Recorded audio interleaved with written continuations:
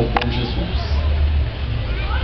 A nossa igreja ela é rica, tem um patrimônio riquíssimo de pessoas de fé. Antes de nós, podemos olhar, nós vamos encontrar milhares, milhões de pessoas que atravessaram mares, oceanos, rios, por causa da fé do Senhor bom Jesus. Espalhar a fé, espalhar esse amor. A nossa diocese aqui já está completando 100 anos de existência. Não começou com Dom Mauro, não começou com Padre Evandro. Tem muitos homens e mulheres que vieram antes de nós, pessoas de fé, pessoas de esperança, que carregaram esta fé, trouxeram até nós.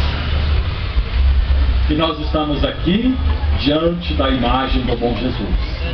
Neste ano também da fé. Nós queremos firmar o nosso compromisso mais ainda. Quem ama, quer o amor que se espalha, o amor que cresça. E nesse tempo das missões aqui na nossa comunidade, na nossa paróquia, nós queremos espalhar mais ainda esse amor de Deus. Este é meu filho muito amado. Escutai o que ele diz.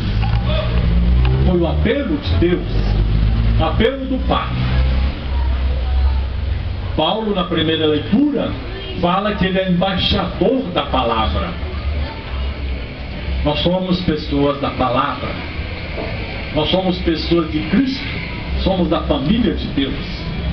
Somos da família do bom Jesus.